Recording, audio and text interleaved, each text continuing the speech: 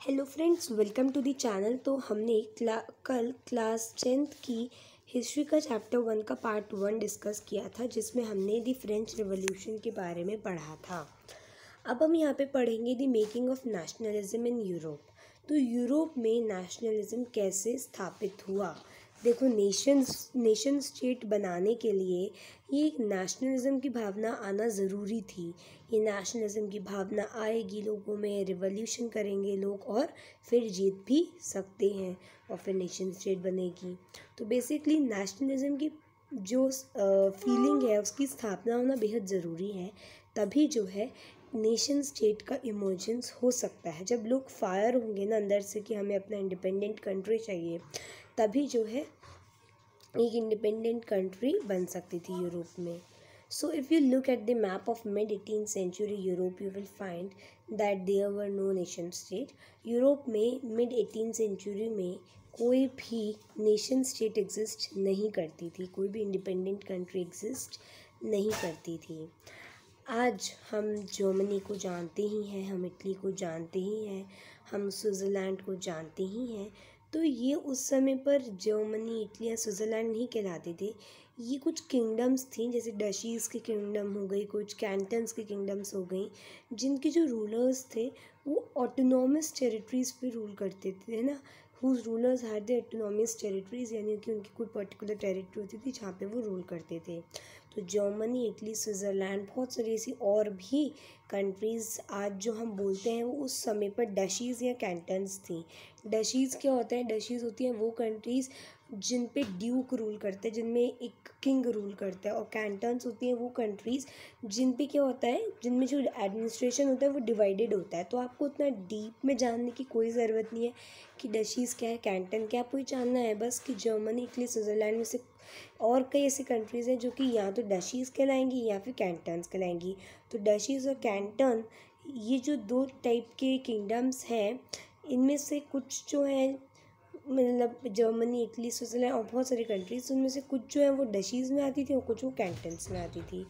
और इन एरियाज़ में जो रूलर्स होते थे ना, जो डशीज़ के डशी किंगडम हो गई, जो कैंटन किंगडम्स हो गई, यहाँ पे जो रूलर्स होते थे, उनके पास एटोनॉमस टेरिटरीज़ होती थी, यानी कि जिस टेरिटरी पे रूल करते थे, उसका पूरा इनका जो सेशन चलता था राजाओं का। तो डचीज़ और कैंटन्स ये दो तरह की किंगडम्स हैं। डशीज़ के एग्ज़ाम्पल आप कुछ कंट्रीज़ के ले सकते हो कैंटन्स में कुछ कंट्रीज़ आती थी, ठीक है?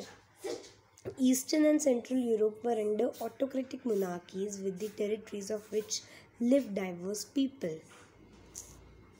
एक सेकेंड सॉरी अब यहाँ पे क्या कहते हैं? देखो, यहाँ पे है eastern and central Europe were under autocratic monarchies with the territories of which lived diverse people यहाँ पे बोलते हैं ईस्टर्न और सेंट्रल यूरोप किसके अंडर में था? ये अंडर में था ऑटोक्रेटिक मोनार्कीज के within the territories of which lived diverse people तो ये जो ऑटोक्रेटिक मोनार्कीज होती थी, है ना? ये मोनार्कियल एरियाज़ में मोनार्कियल टेरिटरीज़ में यहाँ पे एक राजा का शासन होता था। उन टेरिटरीज़ में जो लोग रहते थे, कोई एक एरिया है जहाँ पे कोई राजा रूल कर रहा है। अब उस पर्टिकुलर एरिया में जो लोग रहते थे, वो डाइवर्स होते थे। उनमें एकता नहीं होती थी, वो सब अलग अलग होते थे और वो अपने को अलग अलग ही मानते थे। एक यूनाइटेडनेस की भावना नहीं होती थी, जैसे मैं कहूँ, मैं एक इंडियन हूँ। इस देश का हर नागरिक अपने को सबसे पहले हिंदू, मुस्लिम बताने से पहले बताएगा कि मैं एक इंडियन हूँ, मैं इंडिया में रहता हूँ। क्योंकि हम इंडियंस जो हैं, उनको इंडिया में एक प्रॉपर रिप्रेजेंटेशन मिल रहा है। तभी हम अपने को इंडियन कह रहे हैं, हम अपने को इंडिया से एसोसिएट कर रहे हैं। तो पहला ऐसा नहीं था, जो राजा होता था, वो सारी पावर एक्सरसाइज करता था। वो जो कहता था, वही होता था। लोगों का उसमें कोई रोल नहीं होता था। लोग अपने को एसोसिएट नहीं करते थे उस कंट्री से, उस रीजन से। So did not they did not see themselves as sharing a collective identity और अ कॉमन कल्चर उस समय पे जो लोग थे वो एक कॉमन आइडेंटिटी को कलेक्टिव आइडेंटिटी को कल्चर को फॉलो नहीं करते थे, यानी एकता नहीं थी लोगों में। कलेक्टिव आइडेंटिटी शेयर नहीं करते थे। कलेक्टिव आइडेंटिटी यानी कि हम सब क्या हैं? हम सब इंडियन हैं। जैसे हम बोलते हैं, हमारी कलेक्टिव आइडेंटिटी है कि हम इंडियन हैं। कॉमन कल्चर फॉलो नहीं करते थे। अब हमारे इंडिया में ऐसे बहुत सारे, जैसे दिवाली है, होली है, ये ऐसे फेस्टिवल्स है जो पूरी कंट्री में धूमधाम से मनाए जाते हैं। तो ये हमारी कंट्री का एक कल्चर है। हमारे कंट्री के बहुत और ऐसे कल्चर्स हैं, हम जानते हैं, जो पूरी कंट्री का हर सिटीज़न फॉलो करता है। Often they even spoke different languages and belong to different ethnic group अब कंट्री में लोग जो हैं, वो डिफरेंट भाषा बोलते थे। मतलब अब देखो, जैसे हमारी कंट्री में भी डिफरेंट भाषा बोलते हैं, लेकिन हमारी कंट्री में हर भाषा को वैल्यू देते हैं और सीखने, सीखना चाहते हैं स्कूल्स में सिखाई भी चाहती हैं। लेकिन यहाँ पे क्या होता था, जो पर्सन जो लैंग्वेज बोलता था, बस उस पर ही उसका गौर रहता था। बाकी लैंग्वेजेस को इम्पोर्टेंस नहीं देता था। अगर मैं हिंदी बोलती तो मेरे लिए मराठी भाषा, मेरे लिए गुजराती भाषा कोई वैल्यू नहीं लगती लेकिन आज लोग मराठी भाषा, गुजराती भाषा, बंगाली भाषा सब सीखना चाहते हैं और सब मतलब जो लोग हैं वो एक तरह से आप कह सकते हो कि एक यूनाइटेडनेस को फॉलो करते हैं। इवन अगर हमको किसी दूसरे पर्सन से मिलना है इंडिया में, जिसको हिंदी नहीं आती, जैसे साउथ के लोग हो गए तो हम एक कॉमन लैंग्वेज हो गई इंग्लिश में बात करते हैं। लेकिन उस टाइम पे क्या था, लोग में बिल्कुल यूनाइटेडनेस नहीं थी लोग अलग अलग लैंग्वेज बोलते थे कॉमन लैंग्वेज कोई नहीं बोल पाता था और लोग सीखना नहीं चाहते थे एक दूसरे की लैंग्वेजेस को। सबसे बड़ी दिक्कत ये थी and they belong to different ethnic group ethnic group होते हैं कि वो जो रिलीजन था उनका, जिस रिलीजन से वो बिलोंग करते थे, सबका बहुत अलग था। और इस एकता, अनेकता को एकता में लेना उस समय पे मुमकिन नहीं था, क्योंकि वहाँ पे तो क्या थी, डेमोक्रेसी नहीं थी, वहाँ पे मुनारकी थी तो लोग बिखरे हुए थे। हैबिसबर्ग एम्पायर, अब यहाँ पे एक एग्जांपल है ये केस स्टडी है ऑस्ट्रियन हंगरी एम्पायर, जो कि हैबिसबर्ग एम्पायर कहती है उसकी। तो देखो ऑस्ट्रिया हंगरी में जो एम्पायर रूल करती थी, वो थी हैबिसबर्ग एम्पायर। और इस हैबिसबर्ग एम्पायर में डिफरेंट रीजन्स और डिफरेंट लोग आते थे। इसमें हैबिसबर्ग एम्पायर में एक एल्पाइन रीजन आता था। एल्पाइन रीजन में आपके और छोटे रीजन्स आते थे, जैसे टाइरोल हो गया ऑस्ट्रिया हो गया सुडेंटलैंड हो गया। फिर बोहमिया एक रीजन आता था एल्पाइन में। Where the aristocracy was predominantly German speaking Alpine region में ये सारे रीजन्स आते हैं, जैसे टायरोल ऑस्ट्रिया सोडेंटलैंड बोहिमिया ये सब। और यहाँ पे जो एरिस्टोक्रेसी होते थे, जो अमीर लोग होते थे जर्मन स्पीकिंग होते थे। अब यहाँ पे एक आता है Italian speaking region Italian speaking provinces थी वहाँ पे लुम्बाडे अब इटालियन स्पीकिंग रीजन में आपके लुम्बाडे और विनीशिया ये दो रीजन्स आते थे। फिर हंगरी एक तीसरा रीजन आता है और यहाँ पे जो लोग हैं, वो कौन सी भाषा बोलते थे? माइगर। और कुछ जो लोग थे, वो अपने कॉमन डायलेक्ट्स बोलते थे, यानी कि अपनी आम भाषाएँ डायलेक्ट यानी बोलियाँ बोलते थे अपनी अपनी भाषा, जैसे जैसे हमारे इंडिया में हरियाणवी भाषा है, राजस्थानी भाषा, वैसे अपने अलग अलग रीजन की छोटी मोटी भाषाएँ होती थी। तो देखो ऑस्ट्रिया हंगरिया है। ऑस्ट्रिया हंगरी में हमारे पास एक आता है अल्पाइन रीजन जिसमें और छोटे छोटे रीजन है Tyrol Austria Sudetenland as well as Bohemia जहाँ पे हमें बताया कि ज़्यादातर लोग जर्मन स्पीकिंग होते थे, जो एरिस्टोक्रेसी थी, वो जर्मन स्पीकिंग होती थी। फिर एक इटालियन स्पीकिंग रीजन जो आता है, वहाँ पे हमारे लुम्बाडो विनीशिया आ गया। फिर एक होता है माइगर स्पीकिंग रीजन जहाँ पे माइगर स्पीकिंग जी रीजन आता है माइगर स्पीकिंग रीजन ज़्यादातर हंगरी का होता था। ठीक है? गिलीशिया जो था, वहाँ पे एरिस्टोक्रेसी होती थी, जो कि पॉलिश बोलती थी। तो एक रीजन हो गया गलीशिया और यहाँ पे लोग पॉलिश बोलते थे। तो इन ग्रुप्स के अलावा थ्री डोमिनेंट ग्रुप्स के अलावा भी थ्री हुए फोर हुए, कितने हुए देखते हैं? तो एक तो हुआ हमारा अल्पाइन रीजन फिर एक हुआ हमारा इटालियन स्पीकिंग रीजन और एक हुआ हमारा हंगरी और एक उम्र गिलीशा फ़ोर हुए बेसिकली तो मेरे को लगता है फ़ोर है, आप थ्री मत लिखना, आप फोर भी मत लिखना, आप तो बोलना। देखो, एक सिंपल केस स्टडी आएगी आएगी तो वरना आती नहीं है और ज़्यादातर इसमें ऑब्जेक्टिव टाइप्स भी आ सकते हैं। तो आपको जो मैं बता रही हूँ, वो रखना है दिमाग में। ज़्यादा कुछ जो बुक में लाइन्स लिखी है ना, उसको अगर रटने बैठोगे तो रट नहीं पाओगे क्योंकि बहुत ज़्यादा लेंदी चैप्टर है और टफ़ है। अब in Galicia the aristocracy spoke Polish besides these three dominant groups are also lived within the boundaries of the empire a mass of subject peasant people तो अब यहाँ पे क्या है? इन डोमिनेंट ग्रुप्स के अलावा वहाँ पे और कौन रहता था? वहाँ पे all there also lived within the boundaries of the empire mass of subject अब यहाँ पे तो हमने देखा कि ये कुछ कम्युनिटीज़ रहती हैं। यहाँ पे और कौन कौन रहता था? देखो ऑस्ट्रिया हंगरी एम्पायर में पीजेंट्स भी रहते थे, है ना? पीजेंट पीपल रहते थे, जो कि पीजेंट पीपल रहते थे और ये जो पीजेंट पीपल होते थे, ज़्यादातर ये बोमियंस होते थे। स्लोवैक्स ये जो पीजेंट पीपल हैं, ये स्लोवैक्स भी होते थे, जो कि नॉर्थ में है। स्लोवेंस भी होते थे कर्नौलिया में। क्रोट्स होते थे साउथ में। रोमन्स होते थे ईस्ट में इन ट्रांजाल Transylvania.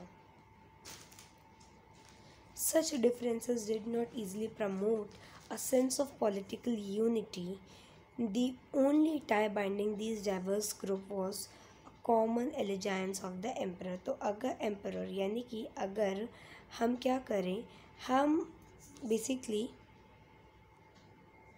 तो अब इतने सारे डाइवर्सिटी थी लेकिन एक कॉमन चीज़ थी और वो कॉमन चीज़ थी कि ये सब लोग एम्प्रर के लोग थे। इन सबको एम्प्रर की इज़्ज़त करनी होती थी। ये एम्प्रर के सबॉर्डिनेट्स थे मास थे लोग थे। तो देखो यहाँ पे हमने देखा कि आ, ये हमारा ऑस्ट्रिया हंगरी एम्पायर में different different regions Alpine region है German speaking region Alpine region है टैलन स्पीकिंग रीजन है। देन हंगरी है, फिर गैलीशिया है है ना? और इन रीजन्स में लोग अलग अलग भाषा बोलते हैं। उसके अलावा कंट्री में पीजेंट्स भी रहते थे और ये पीजेंट्स जो होते थे, ज़्यादातर ये बोमियंस होते थे, यानी बोमिया में रहते थे। स्लोवैक्स होते थे, जो कि नॉर्थ में रहते थे। स्लोवेंस होते थे, जो कर्नालिया में रहते या फिर पीजेंट्स हैं, जिन जिन इलाकों में ही रहते थे। क्रोट्स होते थे, कुछ जो कि साउथ में रहते थे।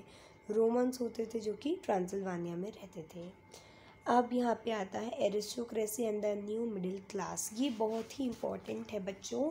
इसको ध्यान रखेंगे हम सब। So students keep this thing in mind that what is basically aristocracy and ये न्यू मिडिल क्लास क्या है? ये न्यू मिडिल क्लास क्या है? तो उसको हम थोड़ा सा समझते हैं एक प्लेन साइड पे।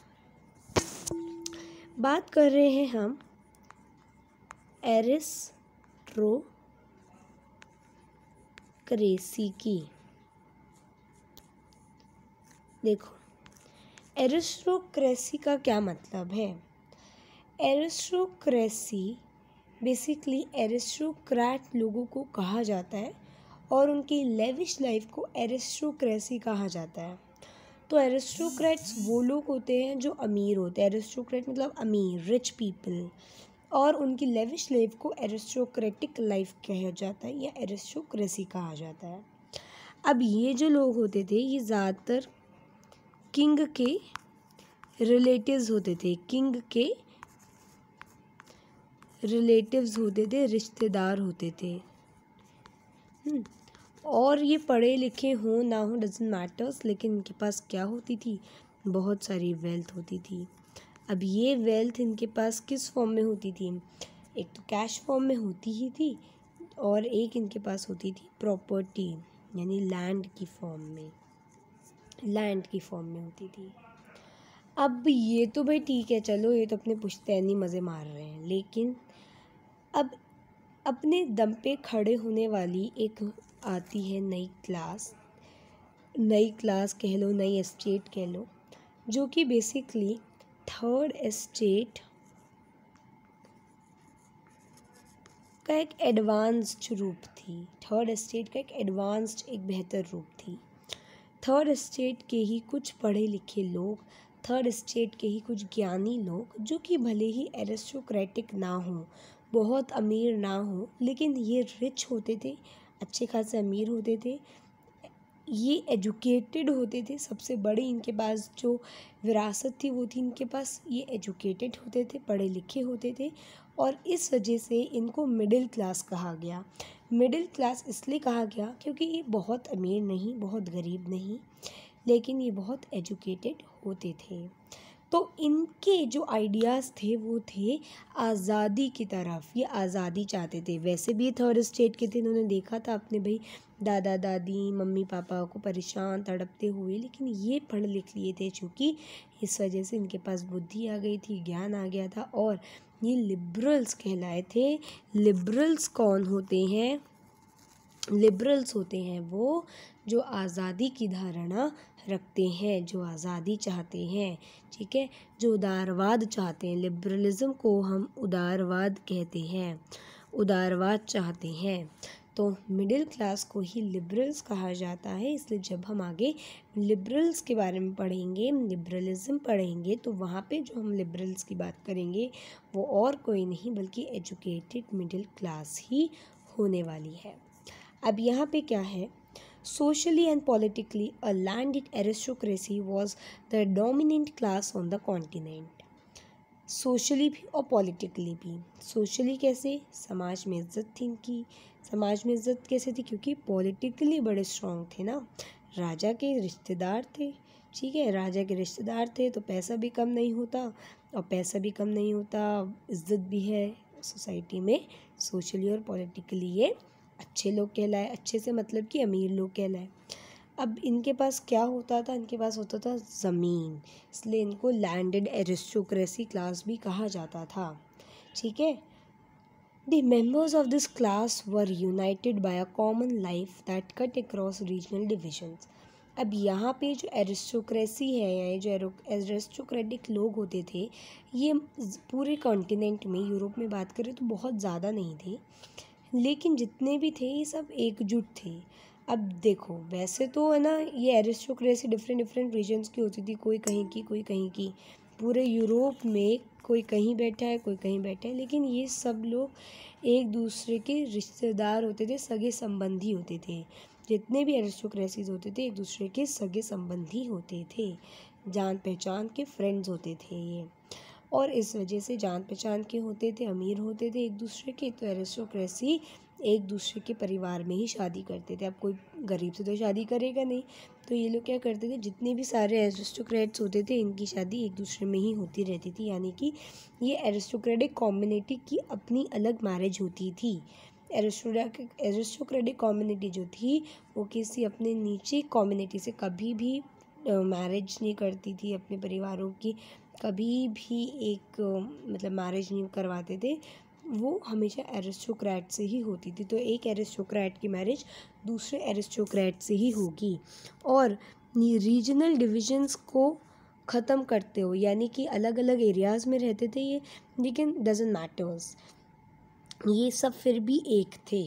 कम थे, पूरे यूरोप में फैले हुए थे, लेकिन फिर भी एक दूसरे के कांटेक्ट में थे। They own estates in the countryside own estates in the countryside यानी कि ये ज़मीनें ओन करते थे, कहाँ पे? विलेजेस में भी and also town houses town houses होते हैं टाउन में घर, जो कि होते हैं बड़े बड़े बंगलो ठीक है? They spoke French for purpose of diplomacy and in high society अभी अपने को अमीर मानते थे, अलग मानते थे, इसलिए ये अपने को अलग दर्शाने के लिए फ्रेंच स्पीक करते थे फ्रेंच बोलते थे, है ना? For the purpose of diplomacy यानी कि अपने को अलग दिखाने के लिए. अपने को अलग दिखाने के लिए ये कौन सी भाषा बोलते थे? ये फ्रांस भाषा बोलते थे। और इनकी जो फैमिलीज़ होती थी, वो एक दूसरे से कैसे जुड़ी हुई होती थी? ऐसे जुड़ी हुई होती थी क्योंकि यहाँ पे इन कम्युनिटीज़ के लोग एक दूसरे के साथ ही शादी करते थे। ठीक है?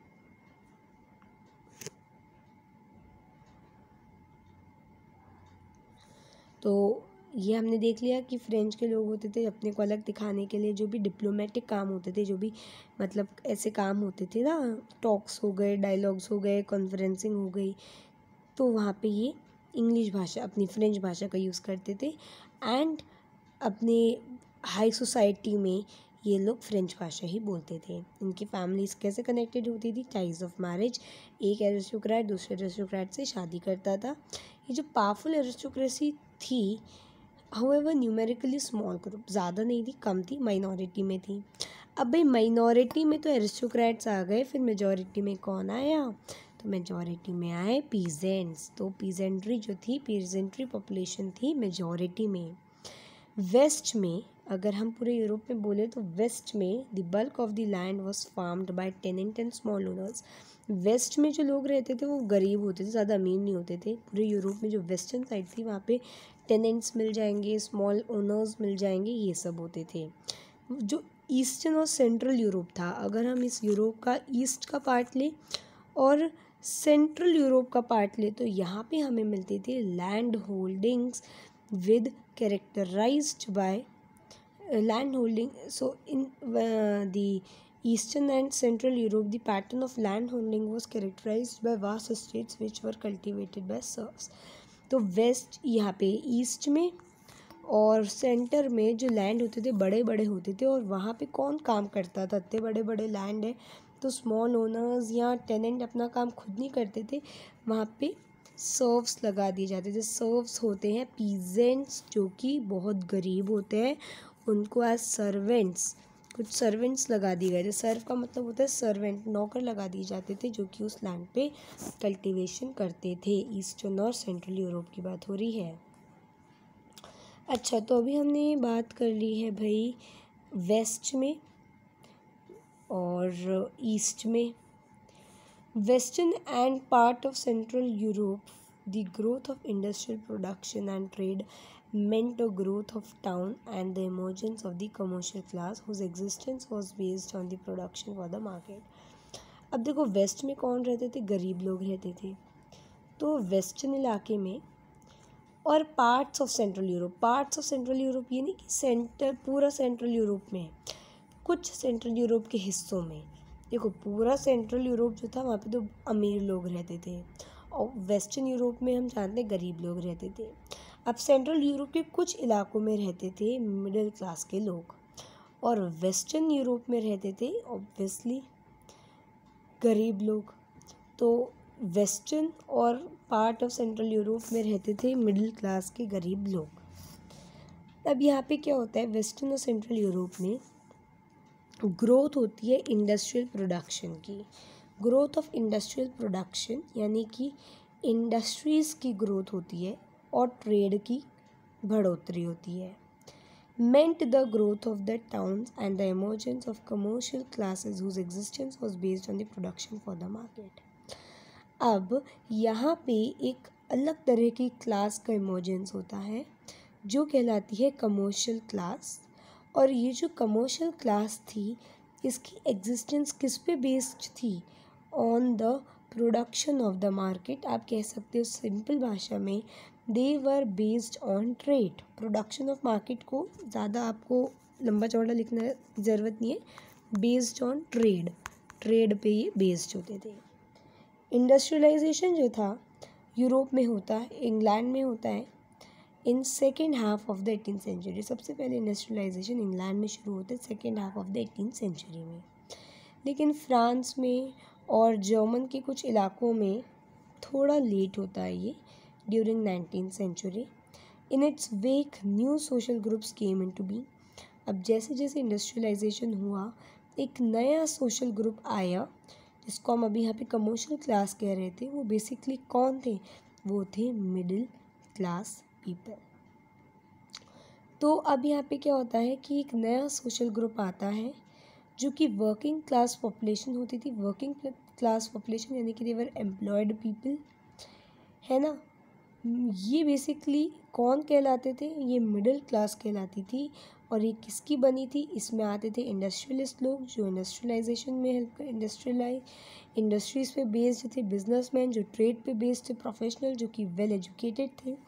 तो यहाँ पे बेसिकली एक एजुकेटेड क्लास का इमर्जेंस होता है, जो कि ट्रेड पे बिज़नेस पे बेस्ड थी in central and eastern Europe these groups were smaller in number central में और ईस्टर्न यूरोप में ये कम थे, क्योंकि वहाँ पे तो वैसे भी कोई थर्ड क्लास ज़्यादा नहीं थी, वहाँ पे तो केवल सर्वेंट्स आते थे, लेकिन वेस्टर्न यूरोप में ये बहुत ज़्यादा थे।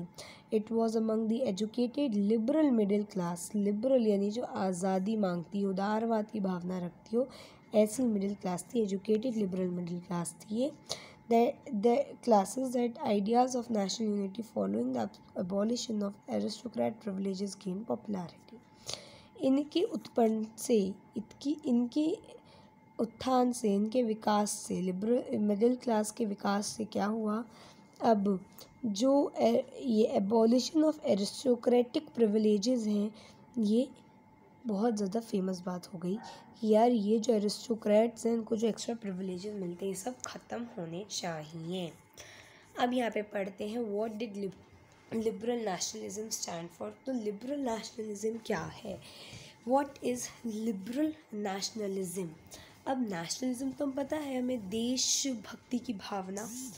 लिबरल नेशनलिज्म का मतलब क्या है? लिबरल्स के मन में जो देश भक्ति की भावना थी तो जो अपने देश के प्रति उनकी भावना थी, उसको अब हम जानेंगे। वो क्या मानते थे कि नेशनलिज्म क्या है? उनके लिए नेशनलिज्म क्या था?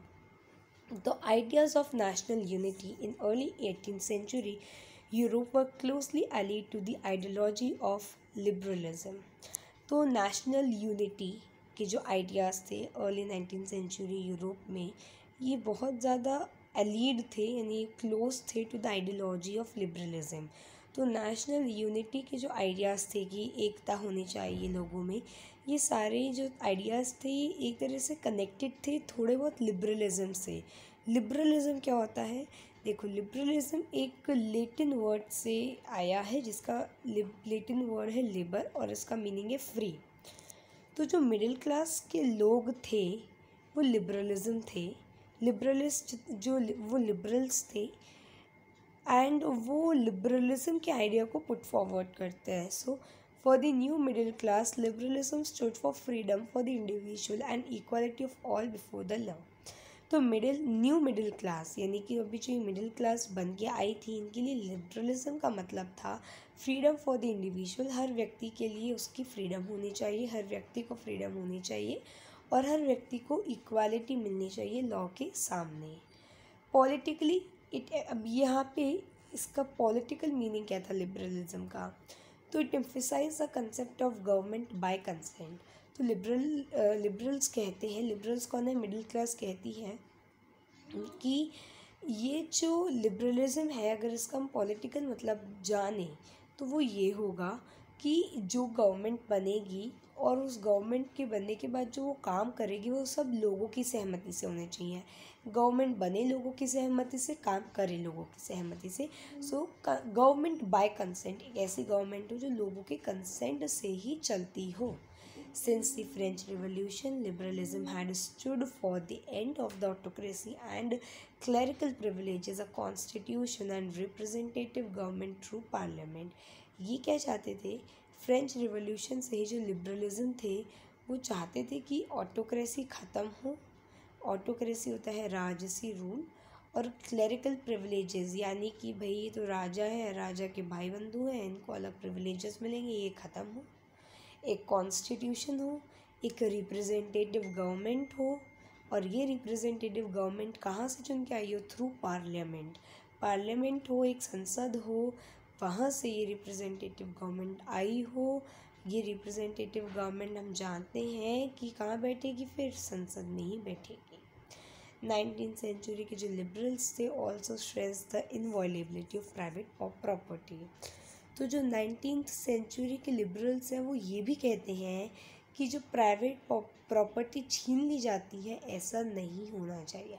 बड़े लोग छोटे लोगों के प्राइवेट प्रॉपर्टी छीन लेते हैं, उस पर अधिपत्य जमा लेते हैं तो ये नहीं होगा। Equality before the law did not necessarily stand for universal suffrage अब इक्वालिटी यहाँ पे बात करी गई थी इक्वालिटी बिफोर द लॉ ये जो समानता है, सबको मिलनी चाहिए, लेकिन यहाँ पे ये यूनिवर्सल एडल्ट सफरेज नहीं है, क्योंकि यहाँ पे जो लेडीज़ थी, जो वेमेन थी, उनको अभी भी जो उनके हित में बात थी, वो नहीं हो रही थी। यहाँ पे सब बात हो रही थी मैन को लेके, आदमी को लेके, औरतों को लेके अभी भी कोई बात नहीं हो रही थी। इक्वालिटी बिफोर द लॉ यहाँ पे बेसिकली यूनिवर्सल एडल्ट सफरेज नहीं है, ये यूनिवर्सल मैन सफरेज है। क्योंकि यहाँ पे हर किसी आदमी को, हर किसी मनुष्य को, हर किसी व्यक्ति को राइट टू वोट नहीं मिल रहा है, लेकिन बस कुछ गिने चुने लोगों को ही राइट टू वोट मिल रहा है। So you will recall that जो रिवोल्यूशनरी फ्रांस था, वहाँ पे जो पहला पॉलिटिकल एक्सपेरिमेंट था लिबरल डेमोक्रेसी में वो था राइट टू वोट तो वहाँ पे सबसे पहले राइट टू वोट किया गया and to elected was granted exclusively to property owning man अब यहाँ पे जो राइट टू वोट था, सबको नहीं था, केवल प्रॉपर्टी ओनिंग मैन को था, जो मैन प्रॉपर्टी ओन करते हो, जिनकी एज ट्वेंटी वन ईयर्स से ऊपर की हो वेमेन इसमें नहीं थी तो इनको ही केवल राइट टू वोट था. एक्टिव सिटीजन्स जो थे they were they were only given the right to vote जो मैन बिना प्रॉपर्टी के होते थे और सारे के सारे लेडीज़ इनको पॉलिटिकल राइट से एक्सक्लूड कर दिया गया था। Only for a B brief period under the Jacobin did all adult males enjoy suffrage अब यहाँ पे जैकोबिन पीरियड जब आता है, जब जैकोबिन पीरियड आता है तो उसमें जो रॉबस्पियर रूल करता है ना तो वहाँ पे क्या होता है, एक साल के लिए होता है वो तो वहाँ पे एडल्ट मेल सफरेज आती है। यानी कि सारे के सारे जो मैन हैं, जो आदमी हैं, जो मेल्स हैं, वो राइट टू वोट कर सकते हैं विदाउट प्रॉपर्टी विद प्रॉपर्टी सब above twenty one years of age सारे ही जो मेल्स हैं विद प्रॉपर्टी विदाउट प्रॉपर्टी सब एक्टिव सिटीजन्स बन गए थे और वेमेन को अभी भी राइट टू वोट नहीं था।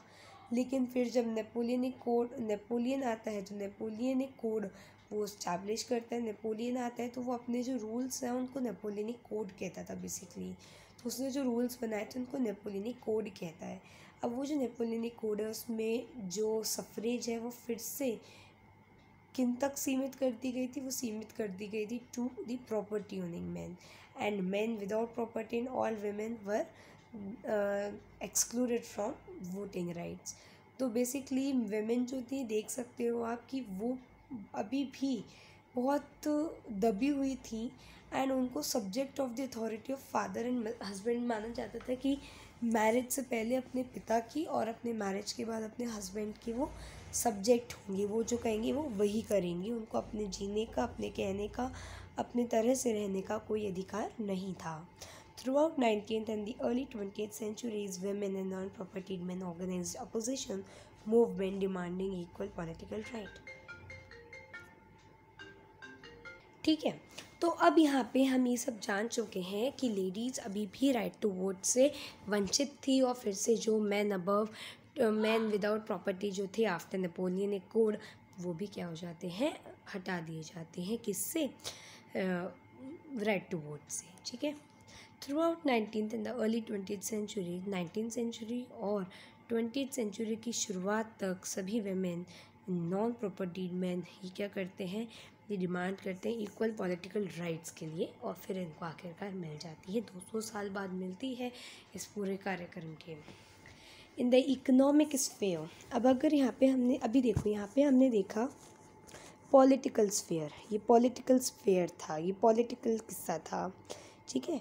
कि जो गवर्नमेंट है वो लोगों के लिए बननी चाहिए, जो गवर्नमेंट है उसमें क्या, जो गवर्नमेंट है वो रिप्रेजेंटेटिव होनी चाहिए पार्लियामेंट से चुनी जानी चाहिए, ये सब कुछ जो था ये सब हमने देखा था अभी, ये पॉलिटिकल स्फेयर था। अब देखते हैं economic sphere liberalism stood for the freedom of market and abolition of state impose restrictions on the movement of goods and capital economic sphere में लिबरलिज्म का मतलब था फ्रीडम ऑफ़ मार्केट यानी कि हम जो भी ट्रेड कर रहे हैं, जो भी बिज़नेस कर रहे हैं, वो फ्रीली हो सके। Abolition of state impose restriction state impose restrictions होते थे टैक्सेस जो कि लगाए जाते थे बहुत ज़्यादा तो उनको हटा दिया जाए। On the movement of goods and capital तो जो भी सामान मूव कर रहा है, उसके ऊपर बहुत सारे टैक्सेस लगा दिए जाते थे, उनको हटाया जाए। During nineteen century this was a strong demand of the emerging middle class let us take the example of the German speaking regions in the first half of nineteen century तो अब हम एक जर्मन स्पीकिंग रीजन का, जो कि first half of nineteen century तक था, उसका एक एग्ज़ाम्पल लेते हैं। Napoleon administrative measures had created out of the countless small principalities of confederation of 39 states Napoleon ने क्या किया था जो भी जर्मन स्पीकिंग रीजन्स थे उनका एक थर्टी नाइन स्टेट्स का कॉन्फेडरेशन बनाया था एक ग्रुप बनाया था अब ये थर्टी नाइन स्टेट्स में जो भी ट्रेड होता था ना, जैसे मान लो ये थर्टी नाइन स्टेट्स है A B C D T C है ना थर्टी नाइन स्टेट्स हैं। तो इन थर्टी नाइन स्टेट जब मैं ए स्टेट से बी स्टेट में जा रही हूँ तो मेरी करेंसी बदल जाएगी। मेरा वेट भी बदल जाएगा सामान का, मेरा मेज़रमेंट का जो तरीका है, सब बदल जाएगा। Each of this possessed its own currency weights and measures thirty nine states में हर स्टेट का अपना अपना करेंसी होगा, अपना अपना वेट होगा, अपना अपना मेज़रमेंट का यूनिट होगा। मर्चेंट ट्रैवलिंग इन 1833 जो 1833 में मर्चेंट ट्रैवल करते थे फ्रॉम हैम्बर्ग टू न्यूरनबर्ग ठीक है? तो अब यहाँ पे क्या है? जो भी मर्चेंट ट्रैवल करेगा 1813 में 33 में from Hamburg to Nuremberg to sell his goods would have to pass through 11 custom barriers and pay a custom duty of about 5% at each one of them तो ये सब चीज़ें 1815 में मतलब ये अपन के कौन थे तो वैसे तो हमको पता है कि जो नेपोलियन था वो 1815 में हार गया था लेकिन उसके बाद भी है ना कंजर्वेटिव्स आ गए थे, जो कि ऑब्वियसली नेपोलियन भी कंजर्वेटिव था, वो भी वैसी धारणा रखता था, जैसे कि उसके हार के बाद जो और कंजर्वेटिव्स थे वो रखते थे। तो उन्होंने भी इसका जो सिस्टम था बदला नहीं। तो एटीन थर्टी का एग्ज़ाम्पल हो आप हैम्बर्ग से न्यूरमबर्ग जा रहे हो, ये थर्टी नाइन स्टेट्स जो बनाई थी जर्मन स्पीकिंग इलाकों की, उनका जो एक संगठन बनाया था, उसमें से दो ये है हैम्बर्ग और न्यूरमबर्ग आप हैम्बर्ग से न्यूरमबर्ग जा रहे हो कुछ सामान को बेचने तो आपको इलेवन कस्टम बैरियर्स को पास करना पड़ेगा। इलेवन कस्टम बैरियर्स को पास करना पड़ेगा और हर आपको कस्टम बैरियर पे, यानी कि जो रोक जो एक जगह पे आपको रोका जाएगा ग्यारह जगहों पर, और ग्यारह जगहों पर क्या होगा, आपको टैक्स पे करना पड़ेगा। Of about five percent at each one of them हर जगह पे पाँच परसेंट आपको टैक्स पे करना पड़ेगा। ठीक है?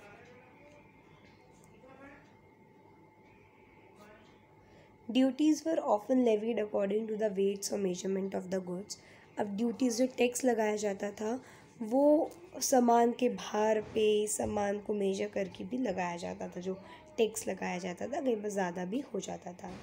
As each region had its own system of weight and measurement this involve time consuming calculation अब हर जगह पे ड्यू कस्टम मतलब हर जगह पे टैक्स तो लगाया जा रहा है, साथ ही में जो सामान को मेजर करके जो टैक्स लगाया जा रहा है ना वो बहुत टाइम कंज्यूमिंग होता था क्योंकि हर इन जो थर्टी नाइन स्टेट्स थी यहाँ पे हर जगह पे अपना अलग अलग मेज़रमेंट चलता था। जैसे कि आपको एक मीटर आपको एक क्लोथ को मेजर करना है ठीक है? वो तो वहाँ पे जो मेज़रमेंट की यूनिट थी वो थी एल ए अभी एल ए जो शब्द है ये हर जगह पे अपना अलग मतलब लगता था ठीक है? So so, an ell of textile material brought in Frankfurt तो फ्रैंकफर्ट एक रीजन है, वहाँ पे मैं कहती हूँ कि ये एक एल ए कपड़ा है। तो एक एल ए का कपड़े का मतलब है fifty four point seven centimetre cloth Mainz में मैं कहती हूँ एक एक एल का कपड़ा है तो वहाँ पे मेंस में मतलब होगा fifty five point one centimetre Nuremberg में एक एल का मतलब है sixty five point six centimetre Freiburg में क्या मतलब होगा? Fifty three point five centimetre ठीक है? ठीक है? तो इधर आपका ये सब कुछ हो गया। अब, ऐसी जो कंडीशंस थी ऑब्स्टेकल थी इकोनॉमिक एक्सचेंज के लिए ट्रेड में बहुत मुश्किल आती थी, बहुत ज़्यादा टाइम लगता था, ठीक है? And growth by the new commercial classes तो ज़्यादा ग्रोथ नहीं हो पा रही थी, नई कमर्शियल क्लासेस की, ज़्यादा कमा नहीं पा रहे थे वो पैसे, क्योंकि बहुत ज़्यादा रोक टोक होती थी, ठीक है? अब ये लोग क्या करते हैं? ये जो लिबरल्स थे, ये कमर्शियल क्लास कोई ना लिबरल्स की ही थी। ये आर्ग्यू करते हैं for creation of unified economic territory allowing the unhindered movement of the good people in capital तो ये क्या कहते हैं? यूनिफाइड इकोनॉमिक टेरिटरी बननी चाहिए। तो अब क्या होता है कि ये लोग डिमांड करते हैं कि एक यूनिफाइड इकोनॉमिक टेरिटरी बननी चाहिए यानी कि एक ऐसा इलाका बनना चाहिए जहाँ पे जो ट्रेड हो वो बिना किसी रोक टोक के हो। एक ऐसा बड़ा एरिया एक ऐसा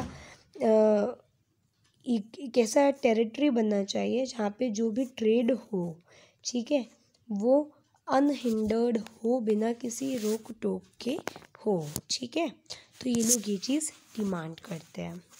अब आगे देखते हैं हम क्या है यहाँ पे तो इन एटीन थर्टी फोर एक कस्टम यूनियन बनाई जाती है। कस्टम यूनियन क्या होता है? ये एक संगठन होता है, ठीक है?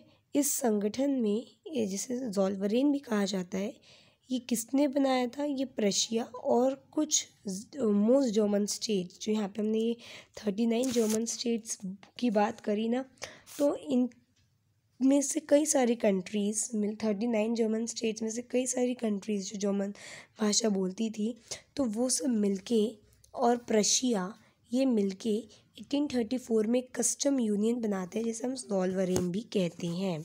ठीक है तो एक कस्टम यूनियन बनाते हैं, इसे हम क्या कहते हैं? जॉलवरेन भी कहते हैं। तो कस्टम यूनियन में क्या होता था? कस्टम यूनियन में आपका जो भी टैक्स आप जो भी मेज़रमेंट की यूनिट है वेट्स की यूनिट है, सब सेम होती थी। वो बदलती नहीं रहती थी विद टाइम ठीक है? तो ये होता था हमारा जॉलवरेनिया कस्टम यूनियन का मतलब। अब हमें इस चीज़ को थोड़ा हिंदी में भी समझने की कोशिश करते हैं।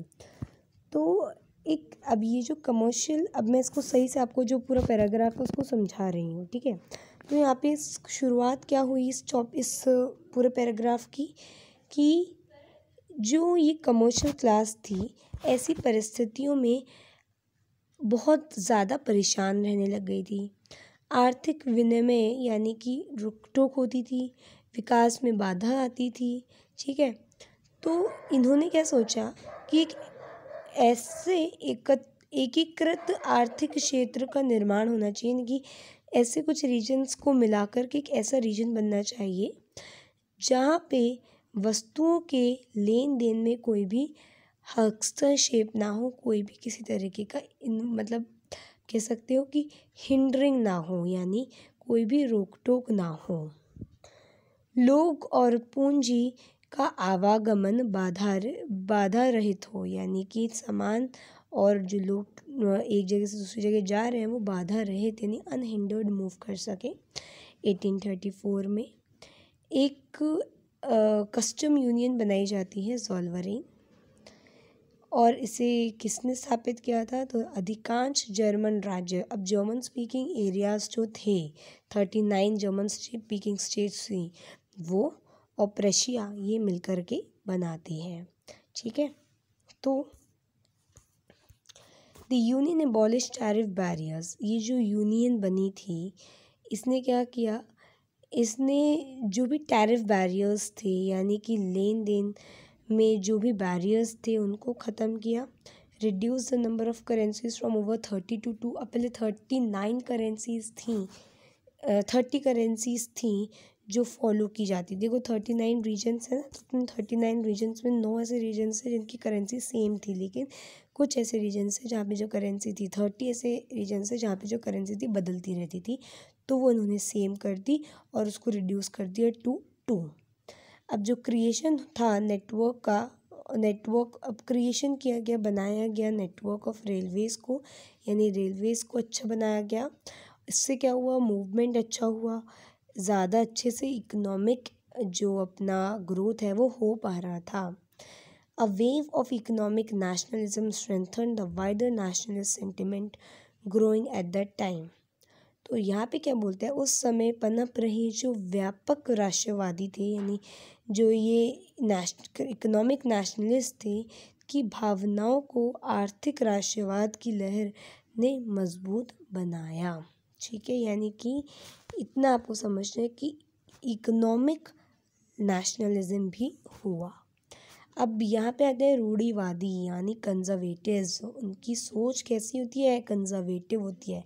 अभी हमने लिबरल देखे, अब हम इनका अपोजिट देख रहे हैं कंजर्वेटिव ऐसे सोच विचार वाले लोग जो कि ट्रेडिशंस को बहुत इम्पोर्टेंस देते हो, जिनके लिए फैमिलीज़ को संजो के रखना प्रॉपर्टी को संजो के रखना, है ना? सोशल हरारकीज़ को रखना चर्च को रखना मोनार्की को रखना बहुत इंपॉर्टेंट है। तो नाइनटीन एटीन फिफ्टीन में नेपोलियन हारा। जब नेपोलियन हारा जो यूरोपियन गवर्नमेंट थी, उनको कंजर्वेटिव्स का सामना करना पड़ा। नेपोलियन भी कंजर्वेटिव था, लेकिन जब वो हारा तो अब लोगों ने फिर से डिमांड की कि भाई अब तो मुनारकी आ जाए। जो कंजर्वेटिव्स थे, उन्होंने क्या किया? स्टैब्ल कंजर्वेटिव्स क्या करते थे? दे बिलीव द स्टैब्लिश जो ट्रेडिशन इंस्टीट्यूशंस वो बिलीव करते थे जो कि ऑलरेडी स्थापित ट्रेडिशनल इंस्टीट्यूशंस हैं, जो किसी देश ने, किसी सोसाइटी ने बनाए हैं, जैसे कि मुनारकी हो गया चर्च हो गया सोशल हरारकी हो गई प्रॉपर्टी हो गई, परिवार हो गया, ये सब प्रिजर्व्ड रहने चाहिए। मंदिरों को तोड़ा नहीं जाएगा सोशल हरारकीज़ को स्थापित रखा जाएगा प्रॉपर्टी रखी जाएगी फैमिली होनी चाहिए सबकी, ये सब कुछ। अब ज़्यादातर जो कंजर्वेटिव्स थे however did not propose a return to a society of pre revolutionary days conservatives थोड़ा हल हल्के हल्के आगे बढ़ते थे। तो अब कंजर्वेटिव ने ये तो समझ लिया था कि हमें प्री रिवोल्यूशनरी टाइम पे नहीं जाना है, यानी रिवोल्यूशन से पहले के टाइम पे हमको नहीं जाना है। जो रिवोल्यूशन ने कुछ चेंजेस लाए हैं, वो अच्छे हैं। उनको ये समझ में आया कि जो नेपोलियन है, उसने जो कुछ किया है, वो अच्छा है। उसे इन्होंने समझा that modernisation could in fact strengthen traditional institutions like मुनाकी इन्होंने ये समझा कि जो मॉडर्नाइजेशन है, थोड़ा बहुत अगर होता है तो वो हमारे जो ट्रेडिशनल इंस्टीट्यूशंस है, जैसे मुनारकी हो गया, इनको थोड़ा और स्ट्रेंथन कर सकता है। It could make state power more effective and strong ये हमारे जो मुनारकी है, इसको और ज़्यादा पावरफुल बना सकता है। और स्ट्रॉन्ग बना सकता है। तो स्टेट पावर को ज़्यादा अफेक्टिव और स्ट्रॉन्ग बना सकता है। यानी मोनार्की को ज़्यादा अफेक्टिव और स्ट्रॉन्ग बना सकता है, जो मॉडर्न मेथड्स हैं। मॉडर्न आर्मी जो होती है और जो एफिशिएंट ब्यूरोक्रेसी है तो आधुनिक सेना, कुशल नौकरशाही तो ब्यूरोक्रेसी हमको पता है कि पुलिस कहते हैं, है ना? डायनामिक इकनॉमी डायनामिक इकनॉमी यानी कि एक गतिशील अर्थव्यवस्था जो एक मूवमेंट में इकनॉमी चलती रहती है, एक फ्लो में इकनॉमी जो चलती रह रही है। ठीक है फ्यूडलिज्म को हटा देना सर्वडोम को हटा देना, ये जो सर्वेंट्स का सिस्टम है, इसको हटा देना, ये हमारी जो मोनार्की है, इसको और अच्छा बना सकते हैं। तो उन्होंने कुछ मॉडर्न चीज़ों को माना। 1815 में representatives of the European power, Britain, Russia, Prussia, and Austria, who had collectively defeated Napoleon, met at Vienna to draw up a settlement for Europe. अब यहाँ पे होती है ट्रीटी ऑफ़ वेना वेना एक यूरोप में जगह है तो ब्रिटेन रशिया प्रशिया ऑस्ट्रिया ये चार ऐसे देश थे जिन्होंने मिल कर के किसको हराया था यस नेपोलियन को हराया था 1815 में at the war of Waterloo battle of Waterloo sorry तो इन्होंने जब नेपोलियन को हटाया, ये वेना पे ही चारों देश मिले और इन्होंने ट्रीटी ऑफ़ वेना साइन करी। द कांग्रेस अभी जो इनकी कांग्रेस थी, यानी कि ये जो इनकी एक मीटिंग थी, जो सम्मेलन था, इसको होस्ट किसने किया था? एक ऑस्ट्रियन चांसलर थे। ऑस्ट्रियन चांसलर ड्यूक मेटर्निश उन्होंने इसको क्या किया था? होस्ट किया था। ठीक है? तो यहाँ पे अब आपको इतना तो समझ में आ ही गया है कि ये ट्रीटी ऑफ़ वेना किन देश ने साइन करी थी तो ये ऑब्जेक्टिव में पूछा जा सकता है ब्रिटेन रशिया प्रशिया और ऑस्ट्रिया ठीक है? तो अब यहाँ पे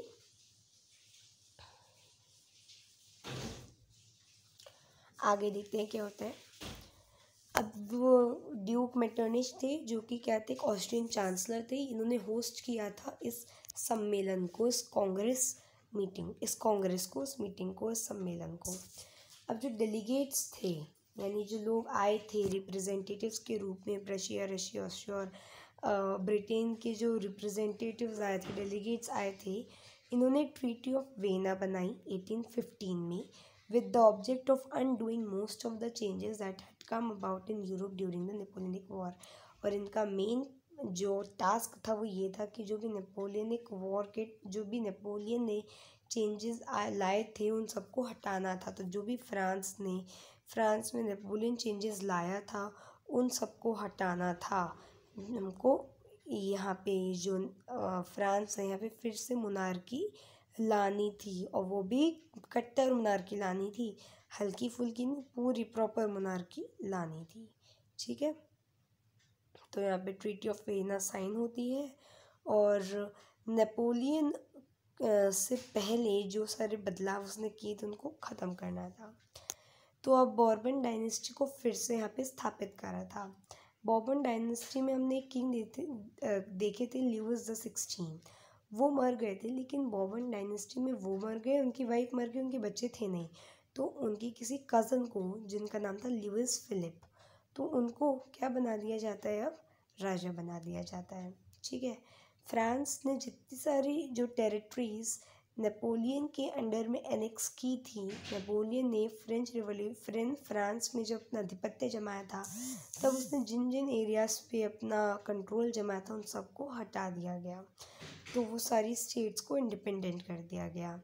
और क्या किया गया? अब यहाँ पे इम्पोर्टेंट आता है कि फ्रांस के आजू बाजू में नॉर्थ साउथ ईस्ट वेस्ट हर तरफ़ क्या बना दी जाती हैं? कुछ ऐसी स्टेट्स बना दी जाती हैं जिनका मेजर पर्पस होता है एक तरह से बाउंड्री बना के रखना, एक थिक बाउंड्री बना के रखना फ्रांस की और दूसरी कंट्रीज़ के बीच की। अभी बाउंड्रीज़ कैसे बनेंगी? तो ये बाउंड्रीज़ बन सकती हैं with the help of some countries ठीक है?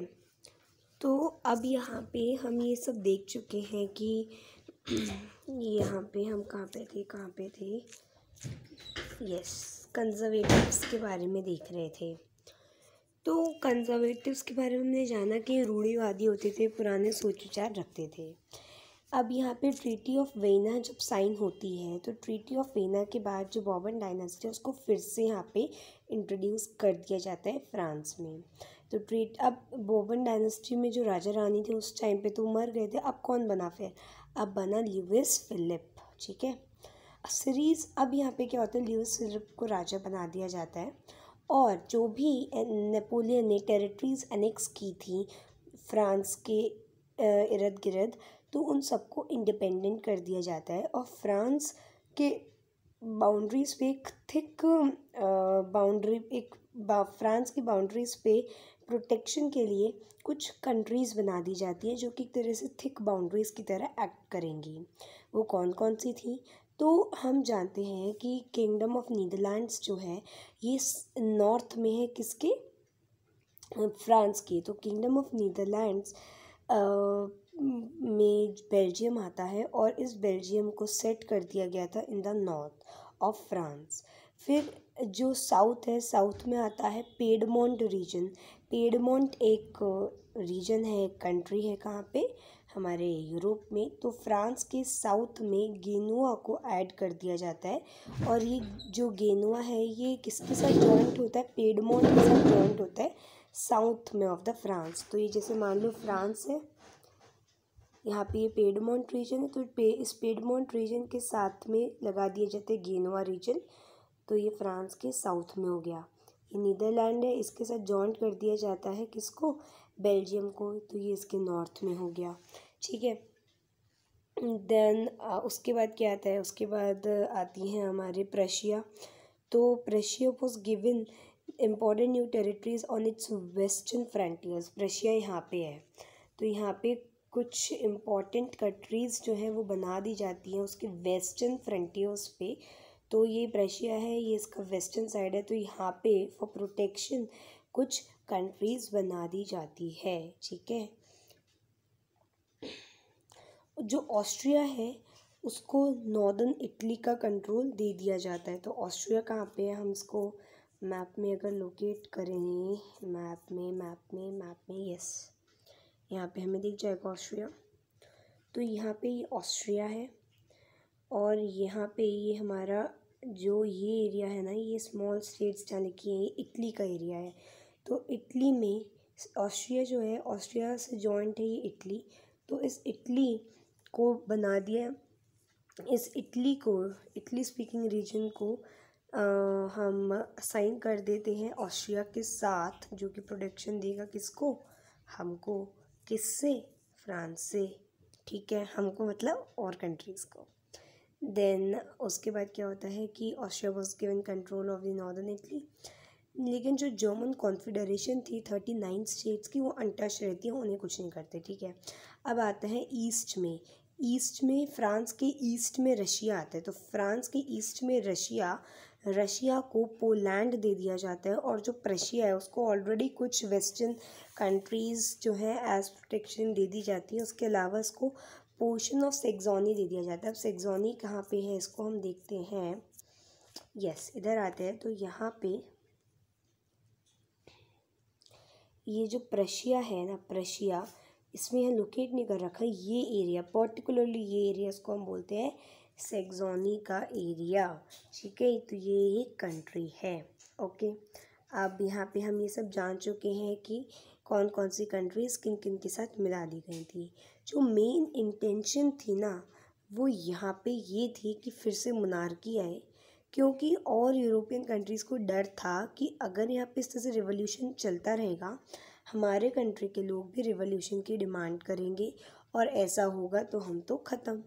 तो मोनार्की को लाना यहाँ पे सबसे बड़ा मोटिव था, जो कि नेपोलियन ने ख़त्म कर दिया। वैसे नेपोलियन था तो कंजर्वेटिव नेपोलियन था तो डिक्टेटर लेकिन उसने कई ऐसे मतलब वो फॉर्मूलाज लाया था, जिसने मोनार्कीज़ को एक तरह से ख़त्म कर दिया था।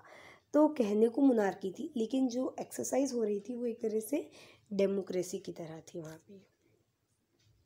कंजर्वेटिव रजीम सेटअप इन 1815 वो ऑटोक्रेटिक अब जो कंजर्वेटिव रजीम बनती है कंजर्वेटिव रजीम यानी जो रूढ़ीवादी या रूढ़ीवाद वाली सोच जो बन, रूढ़ीवाद वाली सोच की जो वहाँ पे रजीम बनती है, वहाँ पे जो रूल बनता है टेन फिफ्टीन के बाद वो ऑटोक्रेटिक होता है।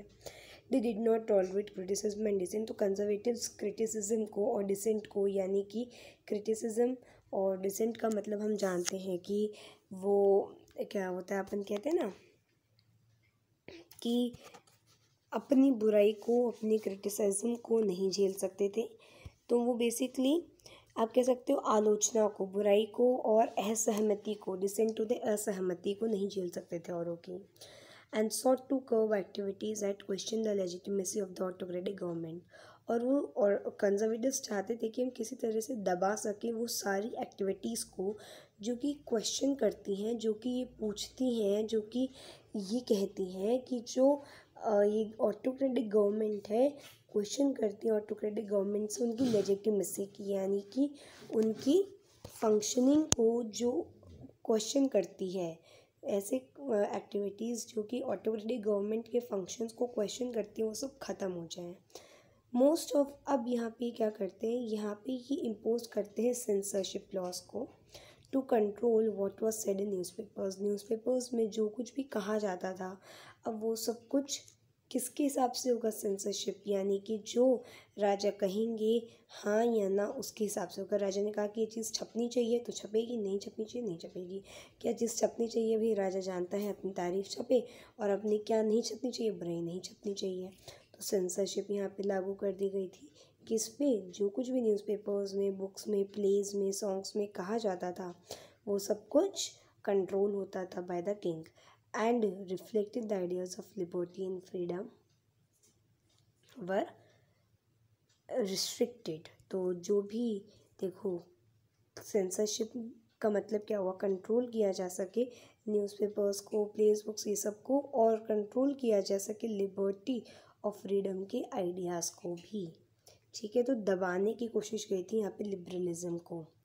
जो मेमोरी थी ना फ्रेंच रेवोल्यूशन की nonetheless continue to inspire liberals वैसे तो दबाया जा रहा था यहाँ पे लिबरल्स को और उनके विचारों को लेकिन जो फ्रेंच रिवोल्यूशन ने इनके एनर्जी बढ़ती थी ना दिमाग में लिबरल्स के तो उनको इंस्पायर करती रहती थी।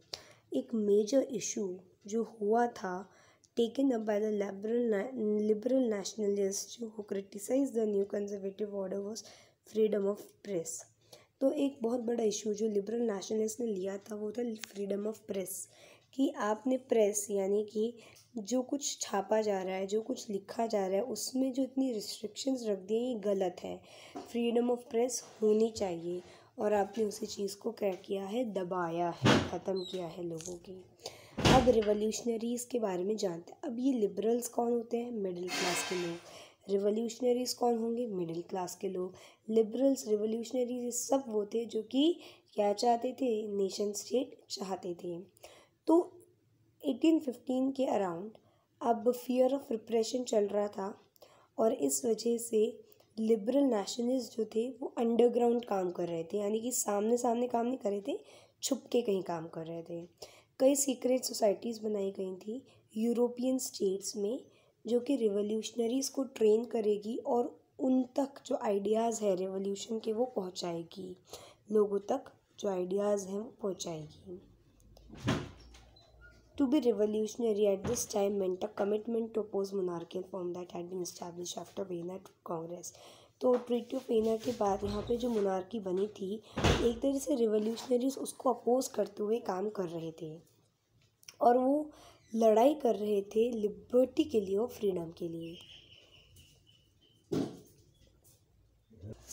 तो अब क्या होता है कि ज़्यादातर जो रिवोल्यूशनरीज थे also saw the creation of nation state as a necessary part of the struggle for freedom तो वो सब चाहते थे कि नेशन स्टेट बने।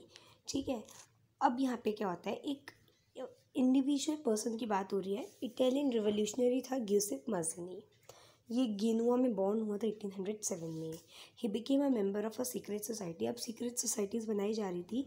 तो एक सीक्रेट सोसाइटी उसका नाम है कार्बोनारी कार्बोनारी एक सीक्रेट सोसाइटी थी, जो रिवोल्यूशनरीज़ ने बनाई थी।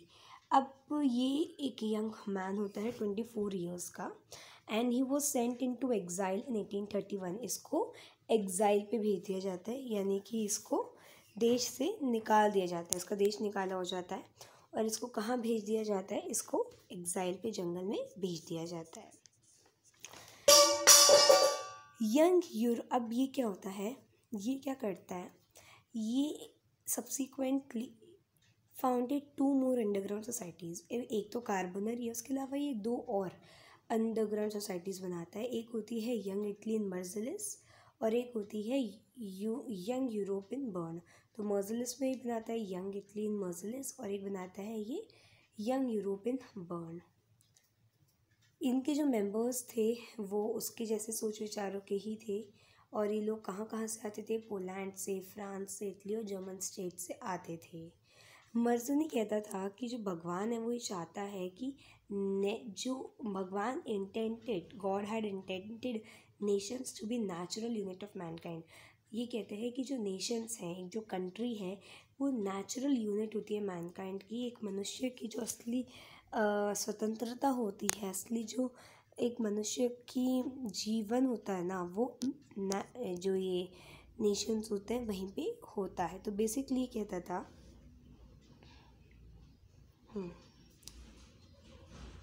एक सेकेंड।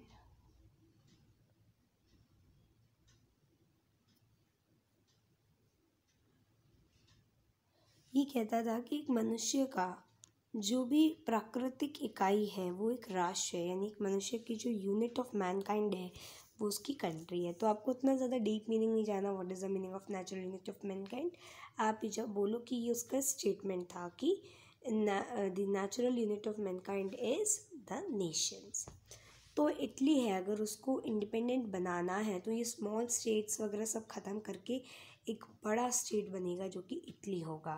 तो इटली स्पीकिंग रीजन्स जो हैं, वो स्मॉल स्टेट्स हैं अभी। इन सबको मिला करके एक कंट्री बनना चाहिए। It had to be force into a single unified republic within the wider alliance of the nation तो इसको क्या करना पड़ेगा? एक रिपब्लिक बनाने के लिए जितने भी सारे छोटे छोटे कंट्री छोटे छोटे स्टेट्स हैं इटली के इटली स्पीकिंग रीजन के, उनको जोड़ के एक बड़ा इटली बनाना पड़ेगा। ये जो यूनिफिकेशन है, ये जो एकीकृत कर रहे हैं, यही जो है इटालियन लिबर्टी बन सकता है, यही जो है इटालियन को लिबर्टी दिलाएगा। इस मॉडल को, इस विचार को रखते हुए बहुत सी सीक्रेट सोसाइटीज़ बनाई गई जर्मनी में, फ्रांस में, स्विट्ज़रलैंड और पोलैंड में। मजरनीस का जो रिलेंटलेस अपोजिशन था मोनार्की को and his vision of democratic republic frightened the conservative तो जो मजनी था, वो लगातार कोशिश करे जा रहा था किस तरह से वो अपोज कर सकता है मोनार्की को और उसने किया भी। और इसके जो विजन्स थे डेमोक्रेटिक रिपब्लिक के, ये डरा रहे थे। अब ये एक तरह से खौफ बन रहे थे कंजर्वेटिव्स के लिए। मेटोनिश जो मेटोनिश हम जानते हैं ना तो ड्यूक मेटोनिश कहते हैं कि the most dangerous enemy of the of our social order is is cusec Mazzini so Metternich described him as the most dangerous enemy of our social orders तो यहाँ पे हमने बेसिकली मिडिल क्लास के बारे में ज़्यादा जाना, इनके थॉट्स विचार, इन सब के बारे में हमने बहुत अच्छे से यहाँ पे जाना। Thank you